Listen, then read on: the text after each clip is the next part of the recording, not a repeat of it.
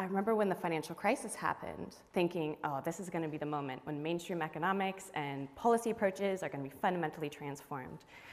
But it took a little while for it to seep in. Yeah, I think it took maybe seven, ten years, and, and now we're seeing this incredible renaissance in economic thinking. Um, and so the well-being economy movement comes under a lot of different banners. So whether that's post-growth, ecological economics, solidarity economy, business for the common good, buen vivir, and many, many more.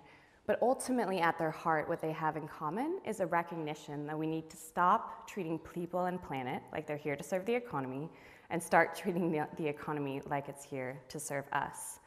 So, what I can say from my experience working at WEAll thus far is that I really think, at least in terms of the Beyond GDP movement, something that was once really fringe actually feels almost mainstream. Around the world, governments are now developing alternative metrics of progress to really focus on what matters for a good life now and for generations to come. But what I've also found is that most of them seem to get stuck there. Yeah? They're not able to really make sense of these multidimensional indicators to inform really transformative strategies and new policy design processes.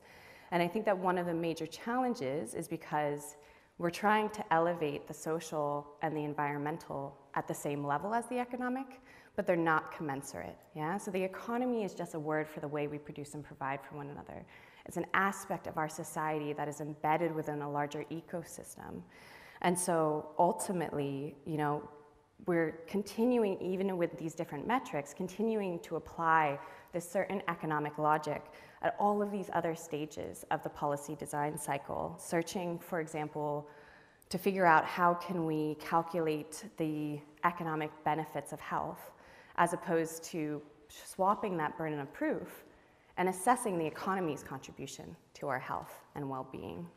And I realize that this is no small task because it really requires us to downgrade the economy and recognize that it's a means, it's a driver, and not an end in and of itself. It requires us to ask what truly matters for the well being of all species on our planet, yeah, and then to consider the ways that we can provide for one another that is ultimately going to ensure social justice on a healthy planet.